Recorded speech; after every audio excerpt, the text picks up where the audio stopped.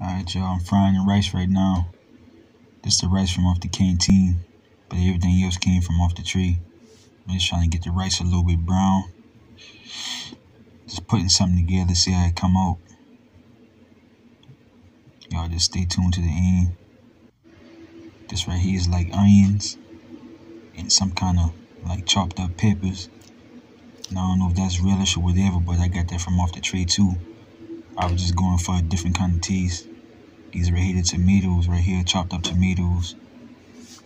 Um, these right here, black eyed peas. I'm gonna try to fry those right here too. As y'all can see, I got the onions and the, the peppers and whatever that is in there. This right here came from off the lunch tree. I think from off the dinner tree. The dinner or the lunch tree, I can't remember, but I knew it came from off the regular tree though.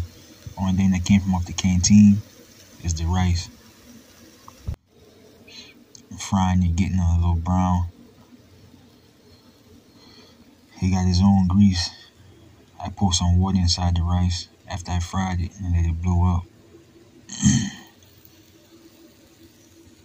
Tomatoes waiting to go in there next. Alright, so I mixed the um onions and the pepper into the rice after while, while the rice was blowing up. Cause eventually I'm gonna have to put that back in the hot pot. But I'm actually waiting until I fry the um tomatoes and the black eyed peas. Alright, so now that's that's the um tomatoes in there. I'm just frying it, getting it a little hot. I try to fry everything separately. So they can get his um heat on it so I can cook it the way I want to cook it before I mix it all together. Hope y'all enjoying this. Alright, so now I got the onions, the tomatoes, and the rice mixed together.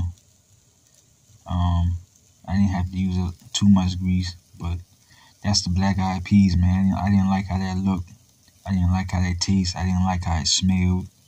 I just wanted to try something and see if I could put some heat on it and make it better but I don't think it got any better.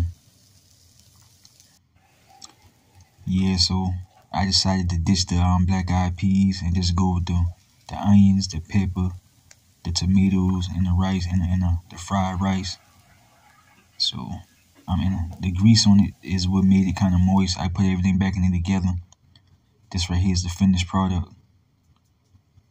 This right here is a finished product and nasty tastes pretty good. Like, comment, share, and subscribe.